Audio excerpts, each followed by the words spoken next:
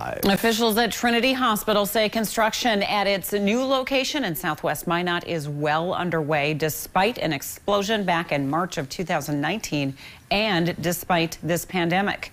The $500 million project was slated to be finished in 2021, but is now scheduled for completion at the end of 2022.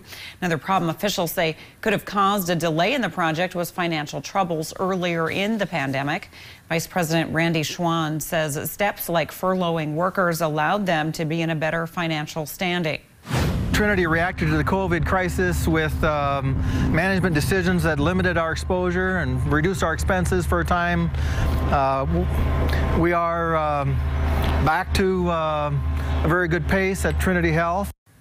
And after the explosion, a new construction company took over the work of the medical complex.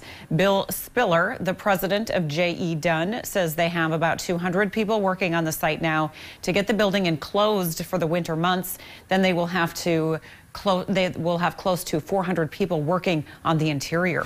Our primary interest is getting the central utility plant. That's the boilers and chillers that heat and cool the building. That's our primary task. The building will be close to 800,000 square feet when complete. That compares to 196,000 square feet at Trinity's current location in downtown Minot.